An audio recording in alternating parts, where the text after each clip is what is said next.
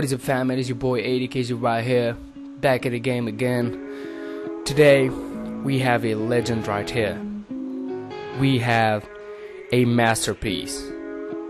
Or you know what? I'm gonna let you with the trailer. It was that night. The rise of a legend.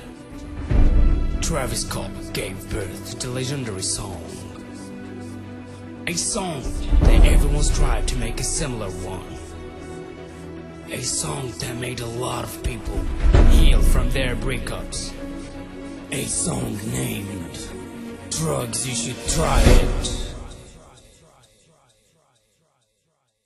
Okay, we're back. I hope you enjoyed the trailer, guys. Actually, this song deserved a special treat. Yeah, so that's why I did all of that. And I'm crazy. So, yeah, first of all, we're going to start by separating the tracks. So, uh, as you know, uh, I have right here uh, the same track that is repeating all over. You know, I just duplicated it. But there's a trick.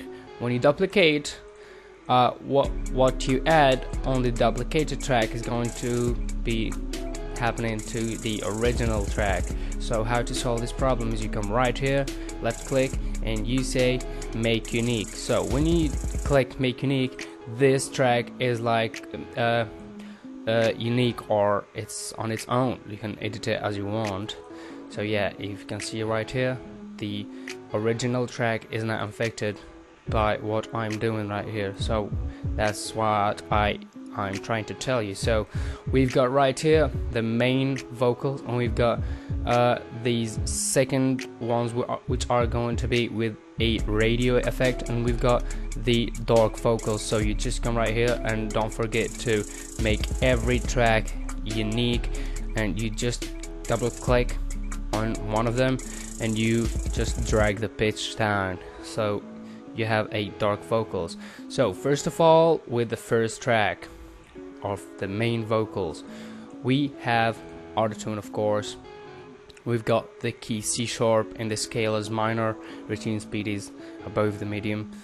Yeah that's it. And we've got the parametric EQ which is a little bit messy because this song this, uh, with the three vo voice layers it's a little bit complicated.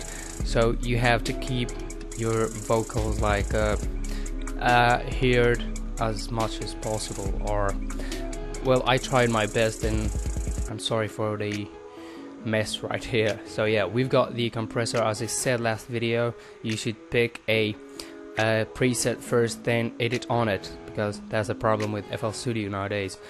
And yeah we've got the fruity squeeze which is a really good um a plugin. Yeah so you can just copy my uh, settings yeah and just lower it from the knob it's important that you lower because it has a strong effect same as the hardcore. We've got the stereo shaper with stereo wires 3 and then we've got the delay. As you noticed I always do that. I always reduce the effect from the knob. And you can see the time and the feedback distortion and everything. It's the delay model is stereo and everything. So yeah that's all for the um, first track or first insert so for the second vocals that I told you about which are in the second insert of course the auto-tune is going to be the same um, but the EQ is going to be at the radio effect right here. We've got the Blood Overdrive you just come right here pick drive and that's what what is it gonna give you and we've got the hardcore with the preset first lead and try to reduce it as much as possible because it because it is a hard effect. And we've got the stereo shaper stereo wise as always. And we've got the delay. I don't know why I use the delay 2 right here and the delay 3 right there. But who cares? Yeah this is actually I think the same uh, yeah the same uh, setting. The time is third on the third point and you know we've got the reverb. I think I didn't show you the reverb on the first insert. So this is the reverb for the second insert. We've got the wet all the way up. And yeah that's it for the first preset as you see the reverb is right here.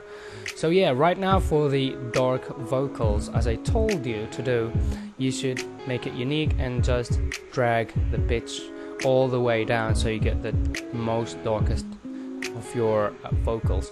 So yeah the answer 3 with the same autotune but I wow!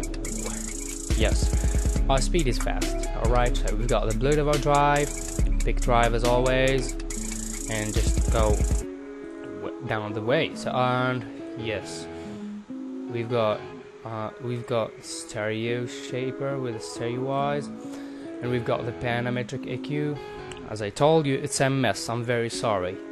Yeah just try to keep it as clean as possible. And we've got the delay. As you can see it's almost the same settings for all the vocal layers and vocal layers and we've got the reverb. Yeah that is the reverb where it is there's it up and that's it. This is it for this video guys. I just don't like to have uh, to make my videos so long so you get bored. So that's it for this video guys. See you next video. Peace